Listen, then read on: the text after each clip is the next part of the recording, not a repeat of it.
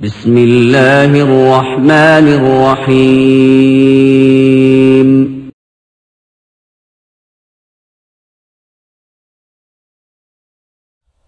السلام عليكم ورحمة الله وبركاته الحمد لله الحمد لله رب العالمين والعاقبة للمتقين ولا عدوان إلا على الظالمين وأصلي وأسلم على أشرف المرسلين وعلى آله وصحبه أجمعين أما بعد أعوذ بالله السميع العليم من الشيطان الرجيم يا أيها الناس اعبدوا ربكم الذي خلقكم والذين من قبلكم لعلكم تتقون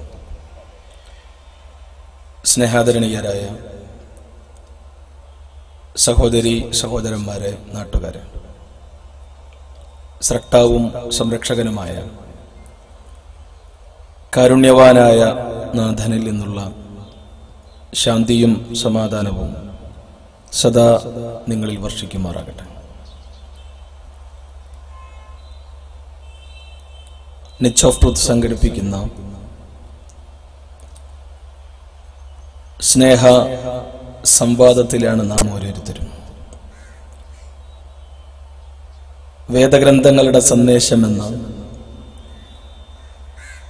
മർമ്മപ്രസക്തമായ ഒരു വിഷയത്തെക്കുറിച്ചുള്ള ചർച്ചക്ക് സ്നേഹ സംവാദത്തിന് ഇവിടെ തുടക്കം കുറിക്കുകയാണ്.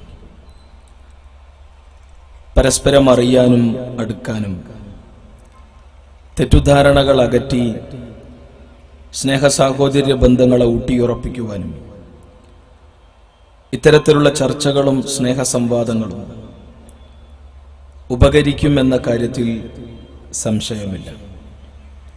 അതുകൊണ്ട് തന്നെ തുറന്ന മനസ്സോടെ.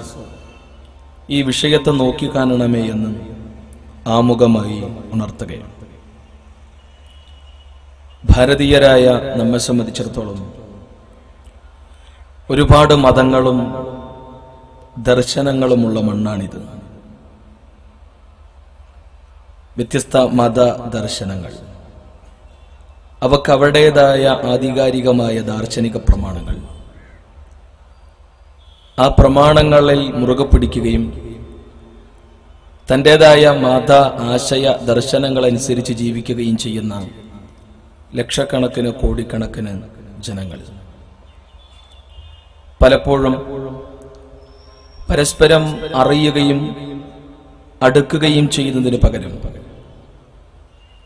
പലപ്പോഴും അകന്നുകൊണ്ടിരിക്കുന്ന സ്ഥിതിവിശേഷത്തിലേക്ക് കാര്യങ്ങൾ വഴിമാറിപ്പോകുമ്പോൾ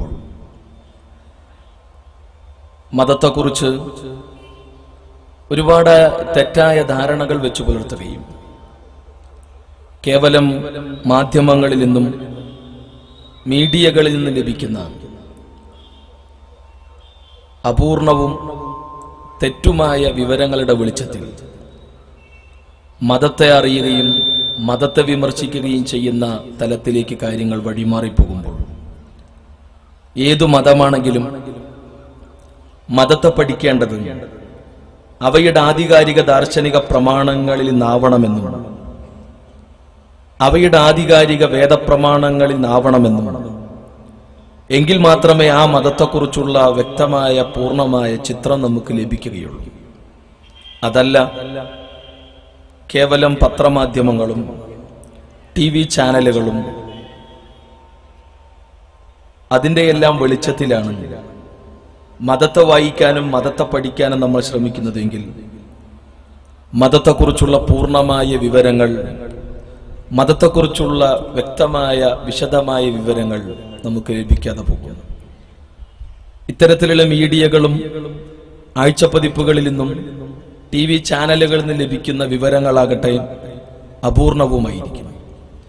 അതുകൊണ്ട് തന്നെ തുറന്ന മനസ്സോടെ മതത്തെ മതത്തിന്റെ ആധികാരിക വേദദാർശനിക പ്രമാണങ്ങളിൽ നിന്ന് കേൾക്കാനും വായിക്കാനും പഠിക്കാനുമുള്ള സന്മനസ് നമുക്കുണ്ടാവണം.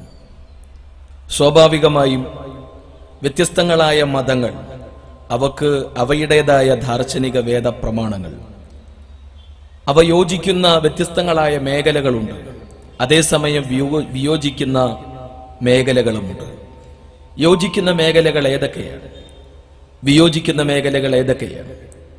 പ്രമാണങ്ങളുടെ വെളിച്ചത്തിൽ തന്നെയുള്ള ഒരു അന്വേഷണത്തിന് ഒരു ചർച്ചക്ക് ഇവിടെ തുടക്കം കുറിക്കുകയാണ്. ഭാരതത്തിൽ ഏറെ ശ്രദ്ധേയമായ മതങ്ങളാണ് ഹിന്ദുമതവും ക്രിസ്തുമതവും ഇസ്ലാമും. ഹിന്ദുമതവുമായി ബന്ധപ്പെട്ട ചർച്ചകൾ നമുക്കിടയിൽ നടക്കുന്നു യഥാർത്ഥത്തിൽ ഹിന്ദു മതം എന്നൊരു മതം തന്നെ ഉണ്ടോ എന്ന മർമ്മപ്രസക്തമായ ചിന്തകളും നമുക്കിടയിൽ നടക്കുന്നു. യഥാർത്ഥത്തിൽ നൂറ്റാണ്ടുകൾക്ക് മുമ്പ് സിന്ധു നദിയുടെ തീരത്ത് താമസിച്ചിരുന്ന ആളുകളെ സിന്ധുക്കളെന്നും സൈന്ധവരെന്നും വിളിച്ചിരുന്നു.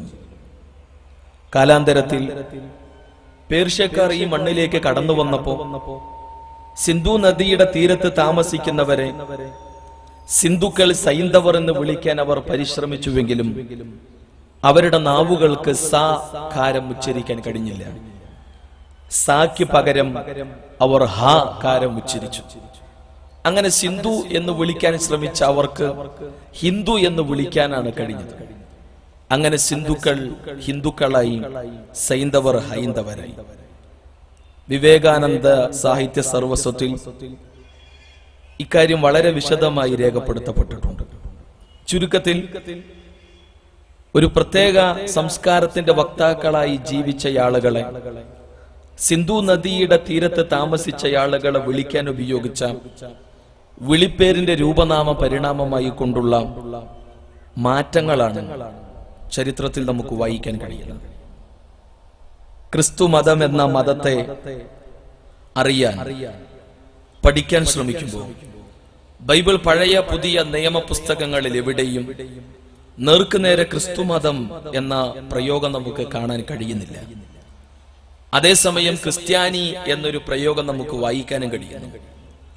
അപ്പോസ്തല പ്രവൃത്തി പതിനൊന്നാം അധ്യായത്തിന്റെ ഇരുപത്തിയാറാമത്തെ വചനത്തിൽ അന്തോക്യ എന്ന പ്രദേശത്തേക്ക് മിഷണറി പ്രവർത്തനങ്ങളുമായി കടന്നു ചെന്ന യേശുവിന്റെ അനുയായികൾ. അന്തോക്യക്കാർ തങ്ങളിലേക്ക് കടന്നു വന്ന മിഷണറി പ്രവർത്തകരോടുള്ള വിയോജിപ്പിന്റെ ഭാഗമെന്നോണം. അവരെ പരിഹസിച്ചു വിളിച്ച വിളിപ്പേരായി കൊണ്ടാണ് ബൈബിൾ ക്രിസ്ത്യാനി എന്ന പ്രയോഗത്തെ നമുക്ക് വിശദീകരിച്ചു തരുന്നത്. അതേസമയം ബുദ്ധ മതവുമായി ബന്ധപ്പെട്ട പഠനങ്ങൾ. ഇരുപത്തി ഒൻപതാമത്തെ വയസ്സുവരെ സിദ്ധാർത്ഥൻ എന്ന പേരിൽ അറിയപ്പെട്ട രാജകുമാരൻ ദുഃഖത്തിന്റെ സർവകാരണം അന്വേഷിച്ച് വീട്ടിൽ നിന്ന് കൊട്ടാരത്തിൽ നിന്ന് ഇറങ്ങി പുറപ്പെടുകയും. ഇരുപത്തിയൊൻപതാമത്തെ വയസ്സിൽ ഖയ എന്ന പ്രദേശത്ത് ഒരു മരച്ചുവട്ടിൽ ധ്യാനനിരതനായിരിക്കെ. അദ്ദേഹത്തിന് ലഭിച്ച ബോധോദയത്തിന്റെ വെളിച്ചത്തിൽ അദ്ദേഹം മുന്നോട്ട് വച്ച ആശയങ്ങൾ വീക്ഷണങ്ങൾ. പിന്നീട് ചരിത്രത്തിൽ ശ്രീ ബുദ്ധൻ എന്ന പേരിൽ പ്രസിദ്ധനായ അദ്ദേഹം അദ്ദേഹം മുന്നോട്ട് വച്ച ആശയം വീക്ഷണമെല്ലാം ബുദ്ധമതമായി ഭാരതീയ ചരിത്രത്തിൽ രേഖപ്പെടുത്തപ്പെട്ടു. ജൈനമതത്തിന്റെ സ്ഥിതി ഇതിൽ നിന്നും ഭിന്നമല്ല. അതേസമയം ഇസ്ലാം സിൽമി എന്ന അറബി പദധാതുവിൽ നിന്നാണ് ഇസ്ലാം നിഷ്പന്നമാകുന്നത്. സിൽമി എന്ന അറബി പദധാതുവിന്റെ അർത്ഥം ശാന്തി സമാധാനം എന്നാണ് ചുരുക്കത്തിൽ എന്താണ് ഇസ്ലാം? ഏകനായ സ്രഷ്ടാവിന് സ്വന്തത്തെ സമ്പൂർണമായും സമർപ്പിക്കുക വഴി കരഗതമാകുന്ന ശാന്തിയാണ് സമാധാനമാണ് ഇസ്ലാം. എങ്കിലാരാണ് മുസ്ലിം? ഏകനായ സ്രഷ്ടാവിന് സ്വന്തത്തെ സമ്പൂർണമായും സമർപ്പിക്കുന്നവനാരോ? അവനെയാണ് മുസ്ലിം എന്ന് പരിചയപ്പെടുത്തുന്നത്. ഏതെങ്കിലും ഒരു പ്രത്യേക വ്യക്തിയുടെ പേരിന്റെ രൂപനാമം പരിണമിച്ചുണ്ടായ ഒരു പ്രയോഗമല്ല ഇസ്ലാം. ഏതെങ്കിലും ഒരു പ്രത്യേക ഒരു കൂട്ടത്തെ വിളിക്കാൻ ഉപയോഗിച്ച വിളിപ്പേരിന്റെ രൂപനാമ പരിണാമമല്ല ഇസ്ലാം. ഏതെങ്കിലും ഒരു പ്രദേശത്തിന്റെ ആ പ്രദേശത്തിന്റെ വിളിപ്പേരിന്റെ രൂപനാമ പരിണാമമല്ല ഇസ്ലാം. വളരെ ഗൗരവമായി നാം ചിന്തിക്കേണ്ടത് ഹൈന്ദവ ക്രൈസ്തവ ഇസ്ലാം മത ദാർശനിക പ്രമാണങ്ങളിൽ നിന്നാണ് ഈ ശ്രദ്ധേയമായ മൂന്ന് മതങ്ങളെയും നാം വായിക്കേണ്ടത് പഠിക്കേണ്ടത്. അങ്ങനെയെങ്കിൽ ഹിന്ദുമതത്തിന്റെ ആധികാരിക ദാർശനിക പ്രമാണങ്ങൾ ഏതൊക്കെ? ഹൈന്ദവ ദാർശനിക പ്രമാണങ്ങളെ രണ്ടായി തിരിക്കും. ഒന്ന് ശ്രുതികൾ മറ്റൊന്ന് സ്മൃതികൾ. ഋഷിവര്യന്മാർ ആ ഋഷിവര്യന്മാർക്ക് പരബ്രഹ്മത്തിൽ നിന്ന് അവർക്ക് കിട്ടിയ അവർ ശ്രവിച്ച അവർക്ക് കിട്ടിയ വിവരങ്ങളാണ് യഥാർത്ഥത്തിൽ ശ്രുതികളായി രേഖപ്പെടുത്തപ്പെട്ടിട്ടുള്ളത്. അതിലാണ് വേദസംഹിതകളും ഉപനിഷത്തുകളും എല്ലാം പെടുക. അതേസമയം ഋഷിവര്യന്മാർ അവരുടെ തന്നെ സ്വന്തം ഓർമ്മയിൽ നിന്ന് രേഖപ്പെടുത്തിയവയാണ് സ്മൃതികളെന്ന് വിശദീകരിക്കപ്പെട്ടിട്ടുള്ളത്. ആ സ്മൃതികളുടെ കൂട്ടത്തിലാണ് മനുസ്മൃതിയും യാജ്ഞവൽക്യ സ്മൃതിയും അതേപോലെ തന്നെയുള്ള സ്മൃതികളും പുരാണങ്ങളുമെല്ലാം ഈ ഗണത്തിലാണ് പെടുക. ക്രൈസ്തവ ദാർശനിക പ്രമാണങ്ങളെ സംബന്ധിച്ചിടത്തോളം ബൈബിൾ പഴയ പുതിയ നിയമ പുസ്തകങ്ങളാണ് ക്രിസ്തു മതത്തിന്റെ ആധികാരിക പ്രമാണം. ഇസ്ലാമിനെ സംബന്ധിച്ചിടത്തോളം വിശുദ്ധ ഖുർആാനും ആ വിശുദ്ധ ഖുർആാനിന്റെ പ്രായോഗിക ജീവിത മാതൃകയായ മുഹമ്മദ് നബി സൊല്ലാഹു അലഹി വസ്ലമയുടെ ജീവിതവുമാണ് പ്രവാചകനിൽ നിന്നും സ്വഹിഹായ പരമ്പരയിലൂടെ രേഖപ്പെടുത്തപ്പെട്ട ഹദീസുകളുമാണ് ഇസ്ലാമിന്റെ ആധികാരിക പ്രമാണങ്ങൾ. ഈ ശ്രദ്ധേയമായ പ്രമാണങ്ങൾ മുന്നിൽ വെച്ചുകൊണ്ടാണ് നാം ഓരോ മതത്തെയും വായിക്കേണ്ടതും പഠിക്കേണ്ടതും കേൾക്കേണ്ടതും അറിയേണ്ടതും വിലയിരുത്തേണ്ടതും ഇനി വിമർശിക്കുകയാണെങ്കിൽ തന്നെ. ഇവയെല്ലാം മുന്നോട്ട് വെക്കുന്ന മഹിതമായ സന്ദേശങ്ങൾ എന്തൊക്കെയാണ്? മാനവരാശിക്ക് മുന്നിൽ ഇവ സമർപ്പിക്കുന്ന ശ്രദ്ധേയമായ സാരോപദേശങ്ങൾ എന്തൊക്കെയാണ്? അടിസ്ഥാനപരമായി മാനവ സാഹോദര്യത്തെക്കുറിച്ച് ഇവയെല്ലാം സംസാരിക്കുന്നു എന്നതാണ്. ഹൈന്ദവ ദാർശനിക പ്രമാണങ്ങളുടെ താളുകൾ മറിക്കുമ്പോൾ പൗരാണികരായ ഋഷിവര്യന്മാർ മാനവ സഹോദരത്തെക്കുറിച്ച് സംസാരിച്ചു പോയി. ബാന്ധവ മാനവ സർവേ സ്വദേശ ഭുവനത്രയം എന്ന വരികൾ. സകല മനുഷ്യരും ബന്ധുക്കളാണ്. അവരുടെ സ്വദേശമാണ് ഭൂമി എന്ന ശ്രദ്ധേയമായ ആശയങ്ങൾ. ഈ ആശയത്തെ നെഞ്ചിലേറ്റുന്ന ഒരു ഹൈന്ദവ സഹോദരന് എങ്ങനെയാണ് താടിവെച്ച മുസൽമാന്റെ കഴുത്തെറുക്കാനാവുക എങ്ങനെയാണ് കുരിശുമാലയണിഞ്ഞ ക്രൈസ്തവന്റെ നെഞ്ചകം പിളർക്കാനാവുക? കഴിയില്ലൊരിക്കലും. നിന്നെപ്പോലെ നിന്റെ അയൽക്കാരനെയും സ്നേഹിക്കണമെന്ന് പഠിപ്പിച്ച മഹാനായ പ്രവാചകൻ ഈസാ ജീസസ് മർക്കോസിന്റെ സുവിശേഷം പന്ത്രണ്ടാം അധ്യായത്തിന്റെ മുപ്പത്തിയൊന്നാമത്തെ വചനത്തിൽ ഈ വചനം നമുക്ക് വായിക്കാൻ കഴിയും. അയൽക്കാരൻ ആരുമാകട്ടെ ശമര്യക്കാരനാകട്ടെ ഏത് വർഗത്തിലും വിഭാഗത്തിലും പെട്ടവനാകട്ടെ അവനെ അറിയാനും അവനെ സ്നേഹിക്കാനുള്ള സന്മനസ്സുണ്ടാകണമെന്ന് പഠിപ്പിച്ച യേശുവിന്റെ സാരോപദേശങ്ങൾ. ഈ ആശയത്തെ നെഞ്ചിലേറ്റുന്ന ഒരു സത്യക്രിസ്ത്യാനിക്ക് എങ്ങനെയാണ് താടിവെച്ച മുസൽമാന്റെ കഴുത്തെറുക്കാനാവുക എങ്ങനെയാണ് കുങ്കുമം ചാർത്തിയ ഹൈന്ദവ സഹോദരന്റെ ശിരസ് പിളർക്കാനാവുക കഴിയില്ലൊരിക്കലും يا أيها الناس إنا خلقناكم من ذكر وأنثى وجعلناكم شعوبا وكبائل لتعارفوا إن أكرمكم عند الله يتقاكم إن الله عليم خبير വിശുദ്ധ ഖുർആൻ നാൽപ്പത്തി ഒമ്പതാം അധ്യായം സൂറ ഹുജറാത്തിന്റെ പതിമൂന്നാമത്തെ വചനത്തിലൂടെ ജനങ്ങളെ നിങ്ങളെ നാം സൃഷ്ടിച്ചത് ഒരു ആണിൽ നിന്നും പെണ്ണിൽ നിന്നുമാണ്. വ്യത്യസ്ത ഗോത്രങ്ങളും ജനപദങ്ങളുമാക്കി നാം നിങ്ങളെ തിരിച്ചത്. ജാതിയുടെ വർഗത്തിന്റെ വർണത്തിന്റെ ദേശത്തിന്റെ ഭാഷയുടെ പേരിൽ പരസ്പരം വട്ടാനും കുത്താനും കൊല്ലാനും നശിപ്പിക്കാനും തീവ്രവാദ വർഗീയവാദ പ്രവർത്തനങ്ങൾക്ക് തിരികൊളുത്തി നിലനിൽക്കുന്ന സമാധാനാന്തരീക്ഷത്തെ പിച്ചു ചീന്തുവാനും വേണ്ടിയല്ല. മറിച്ച് തയ്യാറഫ് നിങ്ങൾ പരസ്പരം അറിയാനും മനസ്സിലാക്കാനും. ഇന്ന അക്രമക്കും ഖബീർ. നിങ്ങളിൽ സട്ടാവും സംരക്ഷകനുമായി ഉടയ തമ്പുരാന്റെ അടുക്കൽ ഉന്നതമായ സ്ഥാനവും മാനവും ഉള്ളവൻ നിങ്ങളുടെ കൂട്ടത്തിൽ തൊളിവെളുത്തവനോ നിങ്ങളുടെ കൂട്ടത്തിൽ ആരോഗ്യതടകാത്തനോ നിങ്ങളുടെ കൂട്ടത്തിലെ മുതലാളിക്കോ നിങ്ങളുടെ കൂട്ടത്തിലെ ഉന്നത തറവാടിക്കോ നിങ്ങളുടെ കൂട്ടത്തിലെ ഉന്നത കുല ജാതനോ അല്ല. മറിച്ച് നിങ്ങളിൽ ആരോ ധർമ്മനിഷ്ഠയിൽ അധിഷ്ഠിതമായി ജീവിതത്തെ സമൂലമായി പരിവർത്തിപ്പിക്കുന്നത്. അവനാണ് സട്ടാവിങ്കിൽ സ്ഥാനമുള്ളൂ മാനമുള്ളൂ മഹിതമായ പദവിയുള്ളൂ എന്ന് പഠിപ്പിച്ച മഹിതമായ ആശയത്തെ ആദർശത്തെ ജനങ്ങൾക്ക് മുന്നിൽ സമർപ്പിക്കുകയാണ് വിശുദ്ധ ഖുർആൻ. ഈ മഹിതമായ ആശയത്തെ നെഞ്ചിലേറ്റുന്ന ഒരു മുസ്ലിമിനെ എങ്ങനെയാണ് കുങ്കുമം ചാർത്തി ഹൈന്ദവ സഹോദരന്റെ കളച്ഛേദം നിർവഹിക്കാൻ? അതേപോലെ തന്നെ കുരിശുമാലയണിഞ്ഞ ക്രൈസ്തവന്റെ നെഞ്ചകം പിളർക്കാനാവുക. പരസ്പരം അറിയാനും മനസ്സിലാക്കാനും ആദ്യ പിതാവിന്റെയും മാതാവിന്റെയും മക്കൾ മക്കൾ തലമുറയിലെ അംഗങ്ങൾ എന്ന തിരിച്ചറിവോടുകൂടെ പരസ്പരം തുറന്ന് സംസാരിക്കാനും കേൾക്കാനും ആശയങ്ങളെ തുറന്ന് ചർച്ച ചെയ്യാനുള്ള സന്മനസ് സന്മനസ്സുണ്ടാകണമെന്ന് ചുരുക്കം. അതുകൊണ്ട് തന്നെ ഭാരതീയരെന്ന നിലയിൽ വ്യത്യസ്ത മതങ്ങളുടെയും ദർശനങ്ങളുടെയും വക്താക്കളായി ജീവിക്കുമ്പോൾ തന്നെ തന്റെ കൂട്ടുകാരൻ തന്റെ അയൽക്കാരൻ തന്റെ നാട്ടുകാരൻ മുന്നോട്ട് വെക്കുന്ന ആശയത്തെ കേൾക്കാനും തന്റെ ആശയം അങ്ങോട്ട് സമർപ്പിക്കാനും ആ ആശയങ്ങൾ പരസ്പരം തമ്മിൽ ആദർശങ്ങൾ പരസ്പരം തമ്മിൽ സൃഷ്ടിപരമായ സംവാദങ്ങൾക്കുള്ള സാധ്യതകളും സാഹചര്യങ്ങളും നിലനിൽക്കേണ്ടതുണ്ട്.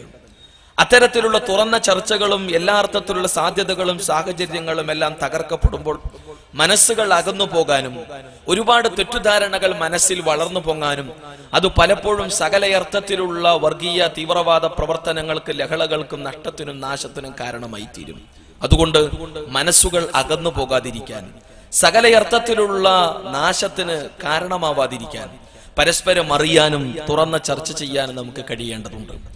അതുകൊണ്ട് തന്നെ ഹൈന്ദവ ക്രൈസ്തവ ഇസ്ലാമത ദാർശനിക പ്രമാണങ്ങൾ വേദപ്രമാണങ്ങൾ മുന്നിൽ വെക്കുമ്പോൾ അവയെല്ലാം ഗൗരവമായി പഠിപ്പിക്കുന്ന ശ്രദ്ധേയമായ ചില ആശയങ്ങളുണ്ട്.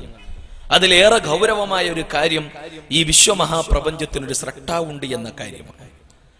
ലോകത്തെ പരമാണു മുതൽ പരകോടി സൃഷ്ടിവർഗങ്ങളെയെല്ലാം സൃഷ്ടിച്ച ഒരു സ്രഷ്ടാവുണ്ട് ഈ മഹാപ്രപഞ്ചത്തിന് എന്ന് ഈ ദാർശനിക പ്രമാണങ്ങൾ കൃത്യമായ സൂചനകൾ നൽകുന്നു. ജ്വലിക്കുന്ന സൂര്യനെ പ്രഭചൊരിയുന്ന ചന്ദ്രനെ മിന്നിത്തിളങ്ങുന്ന പരകോടി നക്ഷത്രങ്ങളെ തന്റേതായ ഭ്രമണ പദങ്ങളിൽ മുന്നോട്ടു പോകുന്ന ഭൂമിയെ എല്ലാം സൃഷ്ടിച്ച ഏകനായ സ്രട്ടാവ് കടലിന്റെ അടിത്തട്ടിലെ നാർസിൻ ടോർപ്പറോ വർഗത്തിൽപ്പെട്ട മത്സ്യങ്ങൾക്ക് വരെ മാർഗദർശനം നൽകുന്ന ആകാശത്ത് വട്ടമിട്ട് പറക്കുന്ന ദേശാന്തര ഗമനം നടത്തുന്ന പറവകൾക്ക് കൃത്യമായ മാർഗദർശനം നൽകിക്കൊണ്ടിരിക്കുന്ന മനുഷ്യൻ അത്ഭുതകരമായി വാർത്തെടുത്ത ഈ മഹാപ്രപഞ്ചത്തിന്റെ അധിപൻ. ആ സട്ടാവിനെ പരിചയപ്പെടുത്തുകയാണ് വേദപ്രമാണങ്ങൾ വേദഗ്രന്ഥങ്ങൾ.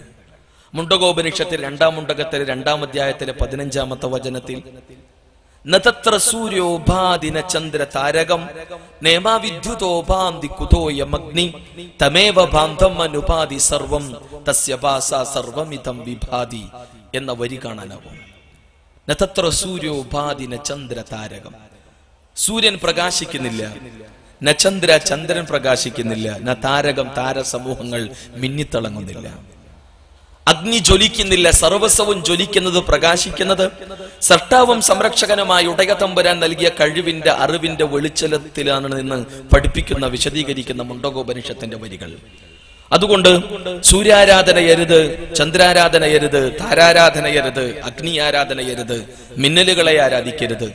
അവയെല്ലാം സൃഷ്ടിച്ച അവക്ക് ജ്വലിക്കാനും അതേപോലെ തന്നെ പ്രകാശിക്കുവാനുമുള്ള കഴിവും അതിനുള്ള എല്ലാ അർത്ഥത്തിലുള്ള സംവിധാനങ്ങളും ഒരുക്കിയ സാക്ഷാൽ സ്രഷ്ടാവിനെ ആരാധിക്കണമെന്നുള്ള വ്യക്തമായ സൂചനകൾ. സ്രഷ്ടാവും സംരക്ഷകനുമായ ഉടയ തമ്പുരാനെ കുറിച്ച് തന്നെയാണ് ബൈബിൾ പഴയ നിയമ പുസ്തകം ഇരമ്യാവിന്റെ പുസ്തകം പത്താം അധ്യായത്തിലെ പന്ത്രണ്ടാമത്തെ വചനത്തിൽ നമുക്ക് വായിക്കാൻ കഴിയുന്നത്. തന്റെ ശക്തിയാൽ ഭൂമിയെ സൃഷ്ടിച്ച തന്റെ ജ്ഞാനത്താൽ ആകാശത്തെ സംവിധാനിച്ച തന്റെ ജ്ഞാനത്താൽ ആകാശത്തെ ഉയർത്തിയ ഈ മഹാപ്രപഞ്ചത്തിന് നാഥനെ പരിചയപ്പെടുത്തുന്ന വരികൾ. ഭൂമിയെയും ഈ ഉപരിലോകങ്ങളെയും അത്ഭുതകരമായി വാർത്തെടുത്ത സ്രഷ്ടാവിനെ പരിചയപ്പെടുത്തുന്ന വരികൾ. വിശുദ്ധ ഖുർആനാകട്ടെ മൂന്നാം അധ്യായം ആൽ ഇമ്രാനിന്റെ നൂറ്റി തൊണ്ണൂറ് നൂറ്റി തൊണ്ണൂറ്റി ഒന്ന് വചനങ്ങളിലൂടെ ഇന്ന ഫീ ഖൽഖി السماوات والأرض واختلاف الليل والنهار لآيات لأولي الألباب الذين يذكرون الله قياما وقعودا وعلى جنوبهم ويتفكرون في خلق السماوات والأرض ربنا ما خلقت هذا باطلا سبحانك فقنا عذاب النار ആകാശഭൂമികളെ സൃഷ്ടിച്ച രാപ്പകലുകൾ അത്ഭുതകരമായ വ്യതിയാനം നടക്കുമ്പോ അതിന്റെ പിന്നിലെല്ലാമുള്ള ഈ മഹാപ്രപഞ്ചത്തിന്റെ നാഥനെ അറിയാൻ നിന്നുകൊണ്ടും കിടന്നുകൊണ്ടും ഇരുന്നുകൊണ്ടും നിരന്തരമായ പഠന മനന ഗവേഷണങ്ങളിൽ ഏർപ്പെടുന്ന ഒരു ബുദ്ധിജീവിയുടെ സ്വാഭാവികമായ പ്രതികരണമായി ഖുർആൻ രേഖപ്പെടുത്തുന്നത് റബ്ബന റബ്ബന റബ്ബന ഞങ്ങളുടെ നാഥ ഇതൊന്നും നീ വൃതാ സൃഷ്ടിച്ചതല്ല. ബാത്തിലായി കൊണ്ട് വെറുതെ സൃഷ്ടിച്ചു കളഞ്ഞതല്ല നീ.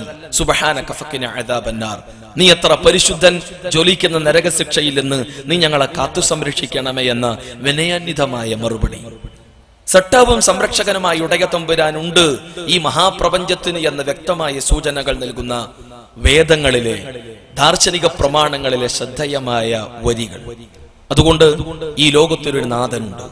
ഹിന്ദുവിനെയും മുസൽമാനെയും ക്രൈസ്തവനെയും സിഖുകാരനെയും ചൈനനെയും ബൗദ്ധനെയും പാഴ്സിയെയും പരമാണു മുതൽ പരകോടി സൃഷ്ടിവർഗങ്ങളെയെല്ലാം സൃഷ്ടിച്ചു പരിപാലിച്ചു കൊണ്ടിരിക്കുന്ന ഒരു ഉടയ തമ്പുരാൻ ഈ ലോകത്തൊരു സട്ടാവുണ്ട് എന്ന യാഥാർത്ഥ്യത്തിന് വ്യക്തമായ സൂചനയാണ് ഒട്ടകം. ഇന്നും പരിണാമവാദികൾക്ക് മുന്നിൽ ശക്തമായ ചോദ്യചിഹ്നമായി ഒട്ടകം തലയുയർത്തി നിൽക്കുകയാണ്. ഒട്ടകത്തെ കുറിച്ച് അവർ പഠിക്കുന്നില്ലേ? എങ്ങനെയാണ് ഒട്ടകം സൃഷ്ടിക്കപ്പെട്ടിട്ടുള്ളത്? ഒട്ടകത്തിന്റെ സൃഷ്ടിഘടനയിലേക്ക് വിരൽ ചൂണ്ടുന്ന വിശുദ്ധ ഖുർആന്റെ വരികൾ. കാട്ടുകുരങ്ങിൽ നിന്ന് പരിണമിച്ചുണ്ടായവനാണ് മനുഷ്യനെന്ന് വാദിച്ച് സ്ഥാപിക്കാൻ വേണ്ടി ശ്രമിച്ച പരിണാമവാദികൾ. കാട്ടുകുരങ്ങൻ മരം ചാടിക്കൊണ്ടിരിക്കുന്നതിനിടയിൽ പെട്ടെന്ന് കാട്ടുകുരങ്ങന്റെ നട്ടൽ നിവർന്ന്. പിന്നെയും ചാട്ടം തുറന്ന കാട്ടുകുരങ്ങന്റെ താടിയലിൽ ചില രൂപമാറ്റങ്ങൾ ഉണ്ടായി. പിന്നെയും ചാട്ടം തുറന്ന കാട്ടുകുരങ്ങന്റെ വാൽ പെട്ടെന്ന് നഷ്ടപ്പെട്ട് മനുഷ്യനായി എന്ന് പറയുന്ന പരിണാമവാദികളുടെ കുരങ്ങനാശയങ്ങൾ മനുഷ്യനെയും കാട്ടുകുരങ്ങന്റെയും ഇടക്കണ്ണിയെ പരിചയപ്പെടുത്താൻ വേണ്ടി ഹൾട്ടുമാനെ അടക്കം പരിചയപ്പെടുത്തി ലോകത്തെ വർഷങ്ങളോളം കുരങ്ങ് കളിപ്പിച്ച പരിണാമവാദികൾ. എന്നാൽ ലോകം ഇന്നത് തിരിച്ചറിയുന്നു. മറിച്ച് ഈ ലോകത്തെ പരിണാമവാദ ചിന്തകളും ആശയങ്ങളും വെച്ച് പുലർത്തി ലോകത്തിനൊരു സ്രട്ടാവുണ്ട് എന്ന ആശയത്തിന്റെ വേരുകൾ പിഴുതെറിയാൻ വേണ്ടി ബോധപൂർവം പരിശ്രമിച്ചവർക്ക് മുന്നിൽ ഈ ലോകത്തിനൊരു ഉടക തമ്പുരാനുണ്ട് എന്ന ശക്തമായ ശക്തമായ സൂചനയായി തെളിവായി ഒട്ടകം തലയുയർത്തി നിൽക്കുന്നു. മരണത്തിന്റെ അവസാന ഘട്ടത്തിൽ വരെ ഒട്ടകത്തിന്റെ കൃത്യമായ ഒരു വിശദീകരണമോ നിർവചനമോ നൽകാൻ സാക്ഷാൽ ഡാർവിന് പോലും കഴിഞ്ഞിട്ടില്ല എന്നതാണ് സത്യം. ഇന്ന് വരെ ഇന്നേ ദിവസം വരെ ജീവിക്കുന്ന ഒരു പരിണാമവാദിക്കും കഴിയാത്ത ശക്തമായ തെളിവായി ഒട്ടകം ലോകത്തിന്റെ മുന്നിൽ തലയുയർത്തി നിൽക്കുന്നു. ഞാൻ പറഞ്ഞു വന്നത് ഈ ലോകത്തിനൊരു സട്ടാവുണ്ട്. ആ സട്ടാവായി ഉടയ തമ്പുരാനെ അറിയാൻ ആ സട്ടാവായി ഉടയ തമ്പുരാനെ മനസ്സിലാക്കാൻ ആ സട്ടാവായി ഉടയ തമ്പുരാനിലേക്ക് തിരിച്ചു വരാനുള്ള സന്മനസ് നമുക്കുണ്ടാകണമെന്ന് ചുരുക്കം. ആ സട്ടാവാകട്ടെ ഏകനായ ഉടയ തമ്പുരാനെ കുറിച്ച് കൃത്യമായി വേദദാർശനിക പ്രമാണങ്ങൾ പരിചയപ്പെടുത്തുന്നു. ദൈവമുണ്ടോ എന്ന ചോദ്യത്തിന് മതവിശ്വാസികൾക്കെല്ലാം നൽകാനുള്ള മറുപടി ഉണ്ട് എന്നാണ്. എന്നാൽ മതനിഷേധികൾ ദൈവനിഷേധികൾ ഇല്ല എന്ന് പറയുമ്പോൾ പ്രപഞ്ചത്തിലെ ഓരോ ഓരോ ചെറുതും വലുതുമായ അത്ഭുതകരമായ സൃഷ്ടി സംവിധാനങ്ങൾ ഈ ലോകത്തിനൊരു സൃഷ്ടാവുണ്ട് എന്നതിന് ശക്തമായ തെളിവായി സൂചനയായി തലയുയർത്തി നിൽക്കുന്നു. അഹങ്കാരം അതൊന്നുകൊണ്ട് മാത്രം ദൈവം തമ്പുരാനെ അംഗീകരിക്കാതെ സട്ടാവായി ഉടക തമ്പുരാനെ അംഗീകരിക്കാതെ തിരിഞ്ഞു കളയുന്നവർ. എന്നാൽ വ്യക്തമായ പച്ചയായ ഈ തെളിവുകളിലെ നിന്ന് പാഠം ഉൾക്കൊണ്ടുകൊണ്ട് സട്ടാവുണ്ട് എന്ന പരമസത്യത്തിലേക്ക് തിരിച്ചു വരുന്നവരും ജനങ്ങൾക്കിടയിലുണ്ട്. സട്ടാവായി ഉടയ തമ്പുരാൻ ഉണ്ടോ എന്ന ചോദ്യത്തിന് ഉണ്ട് എന്ന് പറയുന്ന മതവിശ്വാസികൾ. അതേ മതവിശ്വാസികളോട് എത്ര എന്ന ചോദ്യത്തിന് ഒരുപാട് ഒരുപാട് മറുപടികളാണ് മതവിശ്വാസികൾ നൽകുക. ഒന്ന് രണ്ട് മൂന്ന് മുപ്പത്തി മുക്കോടി എന്ന് തുടങ്ങി വ്യത്യസ്തങ്ങളായ മറുപടികൾ. എന്നാൽ വേദഗ്രന്ഥങ്ങൾക്ക് ആ രംഗത്ത് എന്തു മറുപടിയാണ് നൽകാനുള്ളത്? വളരെ കൃത്യമായി വേദഗ്രന്ഥങ്ങൾ നൽകുന്ന മറുപടി സട്ടാവായി ഉടയ തമ്പുരാൻ ഏകനാണി എന്നാണ്. ഹൈന്ദവ ദാർശനിക പ്രമാണങ്ങളുടെ താളുകൾ മറിക്കുമ്പോൾ സട്ടാവായി ഉടയ തമ്പരാനെ കുറിച്ച് നമുക്ക് വായിക്കാൻ കഴിയുന്നു. തദേകം സ്മരാമസ് തദേകം ജപാമ തദേകം ജഗസാക്ഷി രൂപം നമോ നമ. തദേകം ദൈവം തമ്പുരാൻ ഏകനാണ്. സ്മരാമസ്തദേകം ആ ഏകനായ ദൈവത്തെ ഞങ്ങൾ സ്മരിക്കട്ടെ ജപാമ അവനെ മാത്രം ഞങ്ങൾ ജപിക്കട്ടെ. തദേകം ജഗത്സാക്ഷി രൂപം നമോ നമ. ജഗത്സാക്ഷി സ്വരൂപമായി ഉടയ തമ്പുരാൻ ഏകനാണ് നമോ നമ. അവനെ മാത്രം ഞങ്ങൾ നമിക്കട്ടെ ആരാധിക്കട്ടെ പൂജിക്കട്ടെ എന്ന വരികൾ. സട്ടാവായി ഉടയ തമ്പുരാൻ ഏകനെന്ന് പരിചയപ്പെടുത്തുന്ന മഹാനിർവഹണ സ്തോത്രത്തിന്റെ വരികൾ ഒരു വശത്ത് അതേസമയം മുപ്പത്തി മുക്കോടി ദൈവസങ്കല്പങ്ങളുമായി മത മതവിശ്വാസികൾ മറ്റൊരു വശത്ത്. എങ്ങനെയാണ് പ്രമാണങ്ങളുടെ വെളിച്ചത്തിൽ കാര്യങ്ങളെ വിലയിരുത്താൻ നമുക്ക് കഴിയേണ്ടതുണ്ട്? സട്ടാവായി ഉടയ തമ്പുരാന്റെ ഏകത്വത്തെക്കുറിച്ച് പരിചയപ്പെടുത്തുന്ന ബൈബിൾ പഴയ പുതിയ നിയമ പുസ്തക താളുകളിലെ വരികൾ. ആവർത്തന പുസ്തകം ആറാം അധ്യായത്തിന്റെ നാലാമത്തെ വചനത്തിലും അതേപോലെ തന്നെ മർക്കോസിന്റെ സുവിശേഷം പന്ത്രണ്ടാം അധ്യായത്തിന്റെ ഇരുപത്തിയൊൻപതാമത്തെ വചനത്തിലും മോസസും ജീസസും ഒരുപോലെ പഠിപ്പിച്ചത് ഇസ്രായേലെ കേട്ടാലും നമ്മുടെ ദൈവമായ കർത്താവ് ഏക കർത്താവ്. നീ നിന്റെ ദൈവമായ കർത്താവിനെ പൂർണ ഹൃദയത്തോടെ പൂർണ മനസ്സോടെ പൂർണ ശക്തിയോടെ സ്നേഹിക്കണമെന്ന്. സട്ടാവായി ഉടയ തമ്പുരാൻ ഏകനെന്ന് മോസസ് ഇസ്രായേൽ തറവാട്ടിലെ ജനത്തെ പഠിപ്പിക്കുന്നു. സട്ടാവായി ഉടയ തമ്പുരാൻ ഏകനെന്ന് ജീസസ് തന്റെ സമൂഹത്തിലെ ഇസ്രായേൽ തറവാട്ടിലെ ജനങ്ങളെ പഠിപ്പിക്കുന്നു.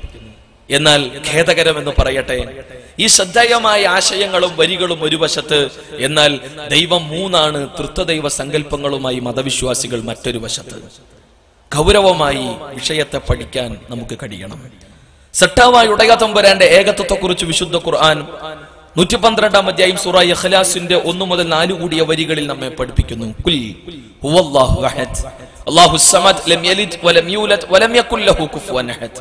പ്രവാചകരെ താങ്കൾ പറയുക കാര്യം അള്ളാഹു ഏകനാകും അള്ളാ എന്ന് കേൾക്കുമ്പോ പലരുടെയും ധാരണ മുസ്ലിങ്ങളുടെ കുലദൈവത്തിന്റെ പേര് അല്ലെങ്കിൽ അറബികളുടെ ഒരു പ്രത്യേക ഗോത്രദൈവത്തിന്റെ പേര്. അത്തരം ഒരു കുല ഗോത്രദൈവ സങ്കല്പമോ വിശ്വാസമോ ഇസ്ലാം മുന്നോട്ട് വെക്കുന്നില്ല. മറിച്ച് ഈ സൃഷ്ടിപ്രപഞ്ചത്തിന്റെ നാഥനെ ഈ സൃഷ്ടിപ്രപഞ്ചത്തിന്റെ ഉടയ തമ്പുരാനെ അറബി ഭാഷയിൽ വിളിക്കാവുന്ന പരിചയപ്പെടുത്താവുന്ന ഏറ്റവും ഉന്നതമായ നാമമാണ് അള്ളാഹ്. അവനേകനാണ് അവൻ ഹിന്ദുവിന്റെയും മുസൽമാന്റെയും ക്രൈസ്തവന്റെയും മതമുള്ളവന്റെയും മതമില്ലാത്തവന്റെയും പരമാണു മുതൽ പരകോടി സൃഷ്ടിവർഗങ്ങളുടെയും ഉടയ തമ്പുരാന് അവനെ അറബി ഭാഷയിൽ പരിചയപ്പെടുത്താവുന്ന ഉന്നതമായ നാമമാണ് അള്ളാഹ്. അവനേകനാണ് അല്ലാഹു സമദ് അവൻ ആശ്രയം നൽകുന്നവനാണ്. ആരുടെയും ആശ്രയം അവന് വേണ്ട. ലം വലംയൂലത് അവന് സന്തതികളില്ല. അവൻ ആരുടെയും മകനോ മകളോ പുത്രനോ പുത്രിയോ അല്ല. അവന് പുത്രനും പുത്രിയുമില്ല. കുഫുവൻ അഹദ് അവന് തുല്യനായി ആരും തന്നെ ഇല്ല എന്നെന്ന് ഖണ്ഡിതമായി പഠിപ്പിക്കുന്ന വിശുദ്ധ ഖുർആന്റെ വരികൾ. അതുകൊണ്ട് സട്ടാവായുടയ തമ്പരൻ ഏകനാണെന്ന് വേദഗ്രന്ഥങ്ങൾ കൃത്യമായ സൂചനകൾ നൽകുമ്പോൾ രണ്ട് മൂന്ന് മുപ്പത്തി മുക്കോടി ദൈവ വിശ്വാസങ്ങളും സങ്കല്പങ്ങളും എല്ലാം നമുക്ക് ചുറ്റും സജീവമാകുമ്പോൾ പ്രമാണങ്ങൾ പറഞ്ഞ പച്ചയായ യാഥാർത്ഥ്യങ്ങളിലേക്ക് മാറി ചിന്തിക്കാൻ നമുക്ക് കഴിയേണ്ടതുണ്ട്. സട്ടാവായി ഉടയ തമ്പുരാന്റെ പേരിൽ ദൈവത്തിന്റെ പേരിൽ ചൂഷണങ്ങൾ സജീവമായി കൊണ്ടിരിക്കുന്ന കാലം. ദൈവത്തെയും മതത്തെയും മതപ്രമാണങ്ങളെയും ആചാര ആരാധന അനുഷ്ഠാന കർമ്മങ്ങൾ വരെ കച്ചവടവൽക്കരിക്കപ്പെട്ടുകൊണ്ടിരിക്കുന്ന കാലം. ആൾ ദൈവങ്ങളും. അതേപോലെ തന്നെ കപട ആത്മീയ കേന്ദ്രങ്ങളും കൂണിനു കൂണായി മുളച്ചു പൊന്തുന്ന കാലം. മതവിശ്വാസികളെ ശാരീരികമായും സാമ്പത്തികമായും മാനസികമായും എന്തിനേറെ ലൈംഗികമായി വരെ ചൂഷണം ചെയ്തുകൊണ്ടിരിക്കുന്ന ചൂഷകന്മാർ പെരുകിക്കൊണ്ടിരിക്കുന്ന കാലം. മതവിശ്വാസികളുടെ പോക്കറ്റിൽ നിന്ന് എത്ര പണം തട്ടിയെടുക്കാൻ പറ്റുമോ അതെല്ലാം നടത്തിക്കൊണ്ടിരിക്കുന്ന കപട കേന്ദ്രങ്ങൾ എല്ലാ മതവിഭാഗങ്ങൾക്കിടയിലും സജീവമാണ്. ഇവിടെ ദൈവത്തിന്റെ പേരിലും മതത്തിന്റെ പേരിലും എല്ലാം മതപ്രമാണങ്ങളും മുന്നിൽ വെച്ചുകൊണ്ട് തങ്ങൾക്ക് തോന്നിയതുപോലെ വ്യാഖ്യാന കസർത്തുകളിലൂടെ തങ്ങളുടെ നിലനിൽപ്പിനു വേണ്ടി വ്യത്യസ്തങ്ങളായ നിലപാടുകളും സമീപനങ്ങളും ചൂഷണ നടപടിക്രമങ്ങൾ സ്വീകരിച്ചു കൊണ്ടിരിക്കുന്ന ഈ പുകമറക്കിടയിൽ സട്ടാവായി ഉടയ തമ്പുരാനെ നമ്മൾ അറിയേണ്ടതുണ്ട്. സട്ടാവായ ഈ മഹാപ്രപഞ്ചത്തിന്റെ നാഥനെ നമ്മൾ ഉൾക്കൊള്ളേണ്ടതുണ്ട്.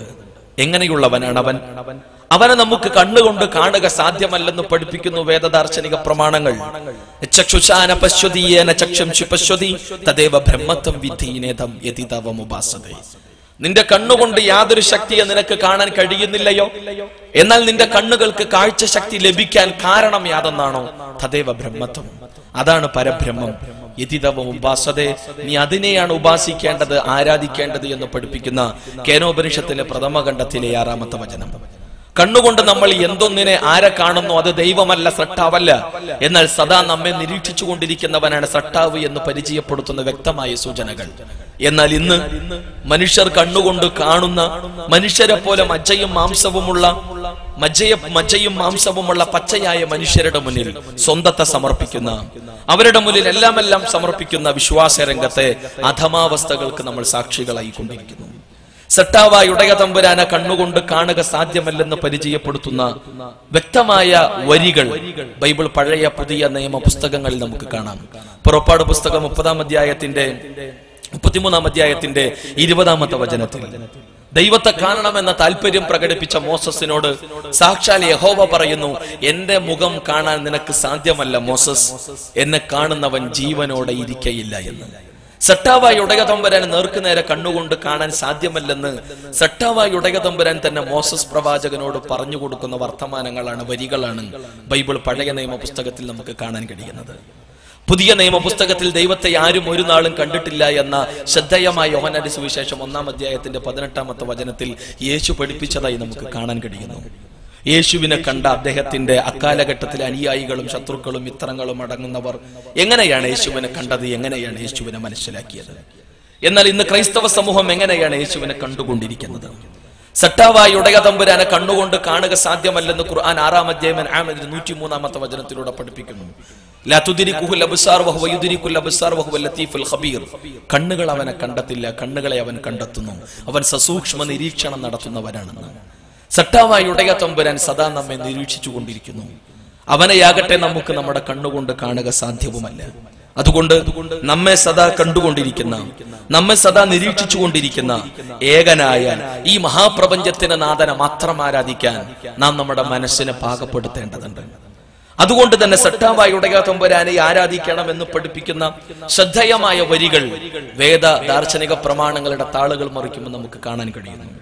ഉദാഹരണം ബൃഹദാരണ്യകോപനിഷത്തിൽ ഒന്നാം അധ്യായത്തിന്റെ മൂന്നാം ബ്രാഹ്മണത്തിൽ ഇരുപത്തിയേഴാമത്തെ മന്ത്രത്തിൽ ഏകനായ സൃഷ്ടാവിനെ വിളിച്ചു പ്രാർത്ഥിക്കുന്ന പ്രാർത്ഥനാ മന്ത്രങ്ങൾ കാണുന്നു ഓം അസതോമാ സദ്ഗമയ തമസോമാ ജ്യോതിർഗമയ മൃത്യോമാ അമൃതംഗമയ.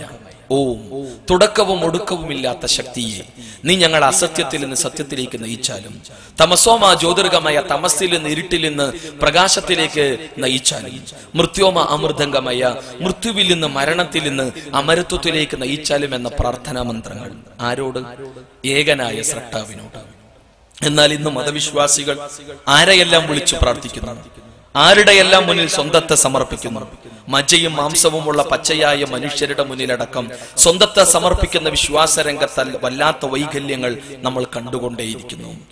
സെട്ടാവായി ഉടയ തമ്പുരാനോടാകണം മനസ്സ് തുറന്ന് പ്രാർത്ഥിക്കേണ്ടത് എന്ന് പഠിപ്പിച്ച യേശുവിന്റെ പ്രാർത്ഥനയും ഉപദേശങ്ങളും നമുക്ക് കാണാൻ കഴിയുന്നു. ബൈബിൾ പുസ്തകം പുതിയ നിയമ പുസ്തകം ലൂക്കോസിന്റെ സുവിശേഷം ഇരുപത്തിരണ്ടാം അധ്യായത്തിന് നാൽപ്പത് മുതൽ നാൽപ്പത്തിരണ്ട് കൂടിയ വരികൾ. പിലോത്തോസിന്റെ പടയാളികൾ ആക്രമിക്കാൻ കടന്നു വരുന്നു എന്ന വർത്തമാനം അറിഞ്ഞ യേശു വല്ലാത്ത പ്രതിസന്ധി ഘട്ടത്തിൽ വല്ലാത്തൊരു ഘട്ടത്തിൽ പരീക്ഷണ ഘട്ടത്തിൽ ഒരു കല്ലേറ് ദൂരം മുന്നോട്ട് പോയി കമിഴ്ന്നു വീണ് മുട്ടുകുത്തി നിറകണ്ണുകളോടെ പ്രാർത്ഥിച്ചത് ആരോടായിരുന്നു?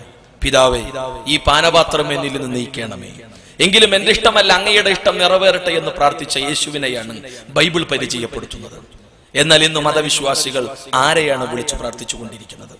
ശ്രദ്ധാവായി ഉടകതമ്പരാനെ വിളിച്ചു പ്രാർത്ഥിച്ച യേശുവിനെ ബൈബിൾ പരിചയപ്പെടുത്തുമ്പോൾ യേശുവിനെ ഈസ അലൈഹി സ്വലാത്തു വസ്സലാമിയെ വിളിച്ചു പ്രാർത്ഥിക്കുന്ന മതവിശ്വാസികളെ മറ്റൊരു വശത്ത് നമുക്ക് കാണാൻ കഴിയുന്നു. മുഹമ്മദ് നബി സല്ലല്ലാഹു അലഹി വസല്ലം നമ്മെ പഠിപ്പിച്ചു. ലോകത്തെ പഠിപ്പിച്ചു. ജനങ്ങളെ നിങ്ങൾ നിങ്ങളെ സൃഷ്ടിച്ച നിങ്ങളുടെ മുൻഗാമികളെ സൃഷ്ടിച്ച നിങ്ങളുടെ സൃഷ്ടാവിനെ മാത്രമേ ആരാധിക്കാൻ പാടില്ല ഇതാണ് മോക്ഷത്തിലേക്കുള്ള വഴിമാർഗം. ഇതാണ് നിത്യജീവനിലേക്കുള്ള വഴിമാർഗം. ഇത് മാത്രമാണ് സ്വർഗത്തിലേക്കുള്ള വഴിമാർഗം. ഹിന്ദുവിന്റെയും മുസൽമാന്റെയും ക്രൈസ്തവന്റെയും മതമുള്ളവന്റെയും മതമില്ലാത്തവന്റെയും പരമാണു മുതൽ പരകോടി സൃഷ്ടിവർഗങ്ങളെയെല്ലാം സൃഷ്ടിച്ച ഈ മഹാപ്രപഞ്ചത്തിന്റെ അധിപനെ മാത്രമേ ആരാധിക്കാവൂ. ഇതിലെവിടെയാണ് വിഭാഗീയത? ഇതിലെവിടെയാണ് വേർതിരിവുള്ളത്? ഇതിലെവിടെയാണ് സങ്കുചിത ചിന്തയുള്ളത്? ഇല്ല. എല്ലാ മനുഷ്യർക്കും ഏറ്റെടുക്കാൻ ഉതകുന്ന ഇണക്കത്തിന്റെ സ്നേഹത്തിന്റെ മോക്ഷത്തിന്റെ സന്ദേശമായി ശുദ്ധ ഏകദൈവാരാധനയെ മുന്നോട്ട് വെക്കുകയാണ് മുഹമ്മദ് നബി സല്ലല്ലാഹു അലൈഹി വസല്ലം. നാം അറിയുക സട്ടാവായി ഉടയ തമ്പുരാന്റെ ഏകത്വത്തിലോ അദ്വിതീയതയിലോ അദ്വിതീയതയിലോ നാമഗുണ വിശേഷണങ്ങളിലോ നാം മറ്റാരെയെങ്കിലും പങ്കുകാരെ ചേർത്താൽ ഒരു കാലത്ത് നമുക്ക് സ്വർഗപ്രവേശം സാധ്യമല്ല. ഒരു കാലത്ത് മോക്ഷപ്രാപ്തി ലഭിക്കില്ല. ഒരു കാലത്ത് നിത്യജീവനിൽ പ്രവേശിക്കാനാവില്ല. അതുകൊണ്ട് തന്നെയാണ് സൃഷ്ടിപൂജ അരുത് സെട്ടാവല്ലാതെ ഒരു ശക്തിയെയും ആരാധിക്കരുത് എന്ന് പഠിപ്പിക്കുകയാണ് വേദദാർശനിക പ്രമാണങ്ങൾ. വേദഗ്രന്ഥങ്ങൾ. ആവർത്തന പുസ്തകം അഞ്ചാം അധ്യായത്തിന് ഏഴ് മുതൽ ഒൻപത് കൂടിയ വരികളിൽ മോസസിനോട് യഹോവ പറയുന്ന മോസസ് ഞാനല്ലാതെ മറ്റു ദേവന്മാർ നിനക്കുണ്ടാകരുത്. മുകളിൽ ആകാശത്തിലോ താഴെ ഭൂമിയിലോ ഭൂമിക്കിടയിൽ വെള്ളത്തിലോ ഒന്നിന്റെയും രൂപമുണ്ടാക്കരുത്. അവയുടെ മുന്നിൽ തലകുനിക്കുകയോ അവയെ നീ സേവിക്കുകയോ അരുത് കാരണം ഞാനാകുന്നു നിന്റെ ദൈവമായ കർത്താവ്. ഞാൻ തീഷ്ണതയുള്ള ദൈവമാകുന്നു. സട്ടാവിനെ അല്ലാതെ ഒരു സൃഷ്ടിയെയും ആരാധിക്കരുത് എന്ന് പറയുന്ന വരികൾ. സട്ടാവായ ഉടക തമ്പുരാനെ അല്ലാതെ മറ്റ് ശക്തികളെ വ്യക്തികളെ ആരാധിച്ചാൽ അവർക്ക് മോക്ഷം സാധ്യമല്ല എന്ന് പഠിപ്പിക്കുന്ന ഏഹ്, ഈശാവാസ്യ ഉപനിഷത്തിന്റെ പന്ത്രണ്ടാമത്തെ വചനം. സ്വാമി ദയാനന്ദ സരസ്വതി ആ വചനത്തെ വിശദീകരിക്കുകയും ചെയ്തു. അന്തം തമ പ്രവിശന്തിയെ സംഭൂതി മുപാസതെ തതോ പൂയ ഇവതേ തമോയ ഉസംഭൂതി അമൃത. സട്ടാവല്ലാതെ ജനിച്ച ജീവിച്ച മരിച്ച മരിക്കുന്ന ഏതൊരു ശക്തിയെ വ്യക്തിയെ സൃഷ്ടിയെ ആരാധിച്ചാലും അവർക്ക് മോക്ഷപ്രാപ്തി സാധ്യമല്ല എന്ന് പഠിപ്പിക്കുന്ന വരികൾ. വിശുദ്ധ ഖുർആൻ പറഞ്ഞു. ആരെങ്കിലും സട്ടാവിന്റെ ഏകത്വത്തിലോ അദ്വിതീയതയിലോ നാമഗുണ വിശേഷണങ്ങളിലോ ആരെയെങ്കിലും പങ്കുകാരെ ചേർത്താൽ അവർക്കൊരു കാലത്തും സ്വർഗപ്രവേശം സാധ്യമല്ല. അവർക്ക് മോക്ഷം സാധ്യമല്ല. അഞ്ചാമധ്യായി ഇതയിലെ എഴുപത്തിരണ്ടാമത്തെ വചനം. അതുകൊണ്ട് വേദഗ്രന്ഥങ്ങൾ വേദദാർശനിക പ്രമാണങ്ങൾ വളരെ കൃത്യമായി ചില ആശയങ്ങളെ പരിചയപ്പെടുത്തുന്നുവെങ്കിലും ആ മഹിതമായ ആശയങ്ങളിൽ നിന്ന് തെന്നിമാറിക്കൊണ്ട് എല്ലാ അർത്ഥത്തിലുമുള്ള വിശ്വാസ രംഗത്തെ വൈകല്യങ്ങളിലേക്കും വൈകൃതങ്ങളിലേക്കും കാലെടുത്ത് വെച്ചുകൊണ്ടിരിക്കുന്ന മതവിശ്വാസികൾ മാറി ചിന്തിക്കേണ്ടതുണ്ട്. എന്തിന് ശ്രദ്ധാവായി ഉടയ തമ്പുരാനെ മാത്രം ആരാധിക്കണം? എന്തിന് സൃഷ്ടിപൂജയിൽ നിന്ന് മാറി നിൽക്കണം എന്ന ചോദ്യത്തിന് അതെ മരണത്തിന് ശേഷമുള്ള ഒരു ജീവിതം. മരണത്തിന് ശേഷമുള്ള ഒരു ഉയർത്തെഴുന്നേൽപ്പ്. മരണത്തിന് ശേഷം മനുഷ്യരുടെ കർമ്മങ്ങൾക്ക് നീതിരധിഷ്ഠിതമായ പ്രതിഫലം ലഭിക്കുന്ന ആ നാളിൽ സ്വർഗവും മോക്ഷവും എല്ലാ അർത്ഥത്തിലുള്ള ദൈവ സാമീപ്യവും ലഭിക്കണം. സ്വർഗ നരകങ്ങളെ കുറിച്ച് വളരെ കൃത്യമായി സംസാരിക്കുന്നുണ്ട് വേദദാർശനിക പ്രമാണങ്ങൾ. ഈ ലോകത്ത് നമ്മൾ ചെയ്തു കൂട്ടുന്ന നന്മകളും തിന്മകളും. നമ്മൾ ചെയ്തു കൂട്ടുന്ന നമ്മളിന്ന് വന്നു പോകുന്ന നന്മകൾക്കും തിന്മകൾക്കും പൂർണമായ നീതിയധിഷ്ഠിതമായ രക്ഷയും ശിക്ഷയും ലഭിക്കുന്നുണ്ടോ? നൂറാളെ കൊന്ന മനുഷ്യനെ നൂറ് തവണ വധ ശിക്ഷക്ക് വിധേയമാക്കണമെന്നതാണ് നമ്മുടെ നീതിയുടെ തേട്ടമെങ്കിലും. ഏതെങ്കിലും കോടതിക്കോ നീതി ന്യായ വ്യവസ്ഥക്കോ അത് പ്രായോഗികവൽക്കരിക്കാൻ കഴിയുമോ? ഇല്ല. നൂറുകണക്കിന് പതിനായിരക്കണക്കിന് ആളുകൾ അറുകൊല ചെയ്ത ലോകം കണ്ട ഭീകരന്മാർ ചരിത്രത്തിൽ കഴിഞ്ഞു പോയിട്ടുണ്ട് അവർക്ക് തത്തുല്യമായ ശിക്ഷ നൽകാൻ ശിക്ഷാ നടപടികൾ അവർക്കെതിരെ സ്വീകരിക്കാൻ കഴിഞ്ഞു. കഴിയില്ല. നന്മകൾ ഒരുപാട് ചെയ്ത മഹത്തുക്കൾ. ലോകം കണ്ട ശ്രദ്ധേയരായ ആളുകൾ. അവർ ചെയ്ത നന്മകൾക്ക് പലപ്പോഴും സമൂഹം നൽകിയത് കല്ലേറും ചെരുപ്പിന്റെ മാല മാലകളും ചീത്തവിളിയും തെറിവിളിയും ബഹിഷ്കരണങ്ങളുമായിരുന്നു. അവരുടെ കർമ്മങ്ങൾക്ക് തത്തുല്യമായ പ്രതിഫലം ലഭിക്കേണ്ടതുണ്ട്. സ്വാഭാവികമായും മനുഷ്യന്റെ ബുദ്ധിയുടെ യുക്തിയുടെ തേട്ടമാണ് നീതിബോധത്തിന്റെ തേട്ടമാണ് കർമ്മങ്ങൾക്ക് പൂർണമായ രക്ഷയും ശിക്ഷയും ലഭിക്കുന്ന ഒരു ലോകം. ആ ലോകത്തെ കുറിച്ചാണ് വിശുദ്ധ ഖുർആൻ പറഞ്ഞത്.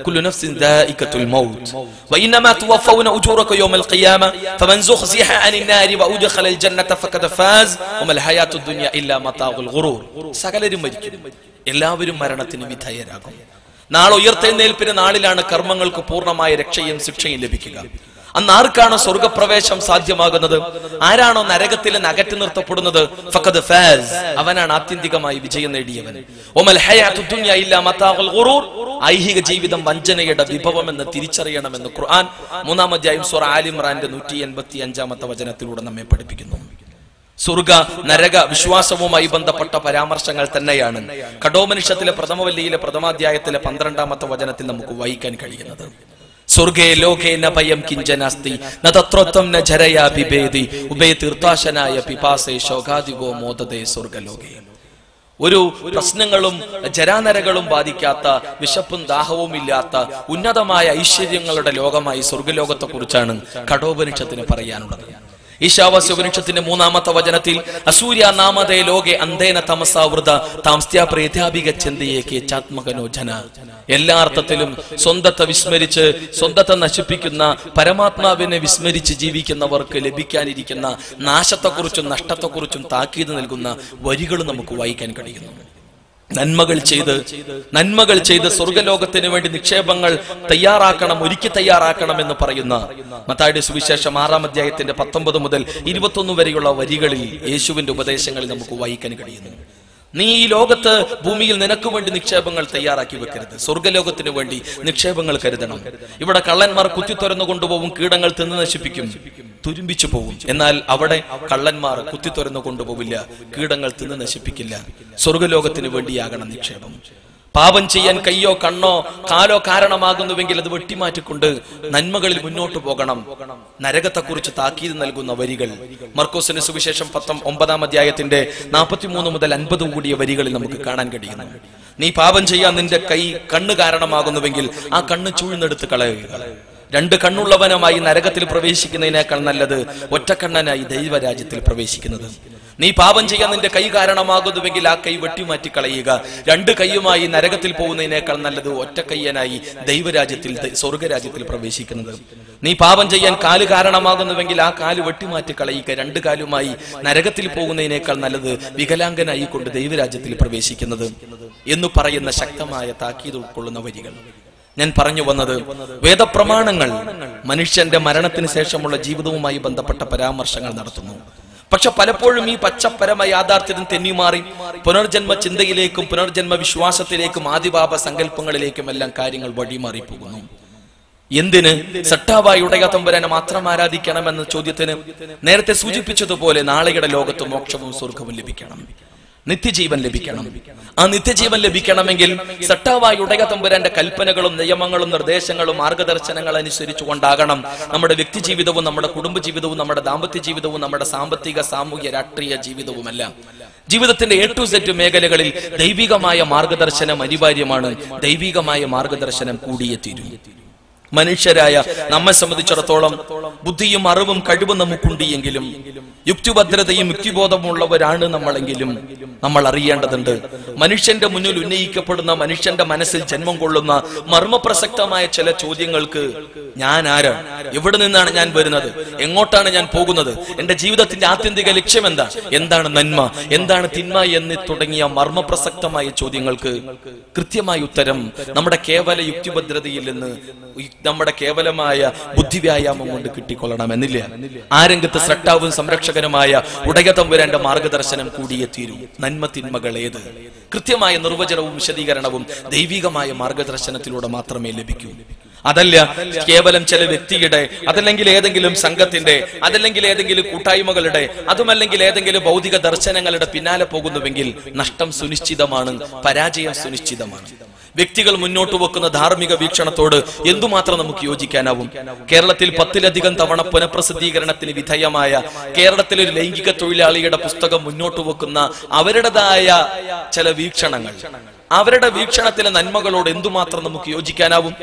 തെരുവിൽ മാനവും മാസവും വിറ്റ് ജീവിക്കാൻ അവരുടെ മകൾ അങ്ങോട്ട് കയറി വന്നാൽ രണ്ട് കൈയും നീട്ടി സ്വീകരിക്കുമെന്ന് കേരളീയ സമൂഹത്തോട് പറയുന്ന അവരുടെ വീക്ഷണത്തെ എന്തുമാത്രം ഉൾക്കൊള്ളാനും സ്വീകരിക്കാനും നമുക്ക് കഴിയും?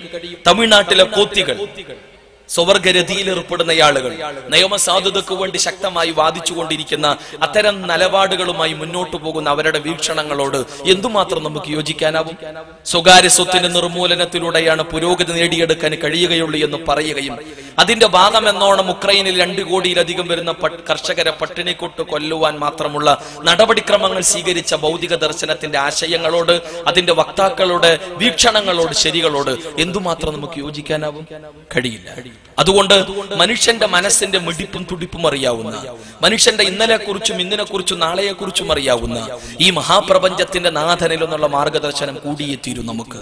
തേനീച്ചക്ക് തേൻ ശേഖരിക്കാനും കൂട് നിർമ്മിക്കുവാനും മാർഗദർശനം നൽകിയവനാരും ആട്ടിട്ടേണുകൾക്ക് ദേശാന്തര ഗമനം നടത്തുവാനുള്ള മാർഗവും മാർഗദർശനവും നൽകിയവനാരും സാൽമൺ മത്സ്യങ്ങൾക്ക് കടലിന്റെ അടിത്തട്ടിലൂടെ പതിനായിരക്കണക്കിന് കിലോമീറ്ററുകൾ യാത്ര ചെയ്യാനുള്ള വഴിയും മാർഗവും മാർഗദർശനവും നൽകിയവനാരും കടലിന്റെ അടിത്തട്ടിലെ നാർസിൻ ടോർപ്പിഡോ വർഗത്തിൽപ്പെട്ട മത്സ്യങ്ങൾക്ക് കൃത്യമായ മാർഗദർശനം നൽകിക്കൊണ്ടിരിക്കുന്നവനാരും ഈ മഹാപ്രപഞ്ചത്തെ അത്ഭുതകരമായ താളപ്പൊരുത്തത്തോടെ സംവിധാനിച്ചു കൊണ്ടിരിക്കുന്നവനാരോ ആ സട്ടാവായുടെ തമ്പുരാന്റെ മാർഗദർശനം കൂടിയേ തീരൂ ആ മാർഗദർശനവുമായി കൊണ്ടാണ് ലോകത്തിന്റെ വിവിധ കോണുകളിലേക്ക് നിരവധി അനവധി പ്രവാചകന്മാർ കടന്നു വന്നത്. ആ പ്രവാചകന്മാരെല്ലാം സട്ടാവിൽ നിന്നുള്ള മാർഗദർശനവുമായി കടന്നു വന്നവരാണ്. ആദൻ നബി അലൈഹി സ്വലാത്തു വസ്സലാം മുതൽ. നുഹ് നബി അലൈഹി സ്വലാത്തു വസ്സലാമയാകട്ടെ അബ്രഹാം ആകട്ടെ ഇസഹാഖ് ആകട്ടെ ഇസ്മായിൽ ആകട്ടെ മോസസ് ആകട്ടെ ജീസസ് ആകട്ടെ മുഹമ്മദ് നബി സല്ലല്ലാഹു അലൈഹി വസ്സലാമ വരെയുള്ള മുഴുവൻ പ്രവാചകന്മാരും. ആ മുഴുവൻ പ്രവാചകന്മാരും ദൈവികമായ മാർഗവും മാർഗദർശനവുമായി കടന്നു വന്നവർ. ആ മാർഗദർശനത്തിന്റെ ഒന്നാമത്തെ പടി എന്നോണം അവർ ലോകത്തെ പഠിപ്പിച്ചത് ശുദ്ധ ഏകദൈവാരാധനയാണ്. ജീവിതത്തിന്റെ എല്ലാ തലങ്ങളിലും സട്ടാവിന്റെ മാർഗദർശനം അനുസരിച്ച് ചിട്ടപ്പെടുത്തണമെന്ന് അവർ ലോകത്തെ പഠിപ്പിച്ചു. എങ്ങനെയാകണം മാതൃകാ ജീവിതമെന്ന് സ്വന്തം ജീവിതത്തിലൂടെ അവർ ലോകത്തിന് കാണിച്ചു തരികയും ചെയ്തു. ആ പ്രവാചക ശൃംഖലയിൽ അവസാനത്തെ കണ്ണിയാണ് മുഹമ്മദ് നബി സല്ലല്ലാഹു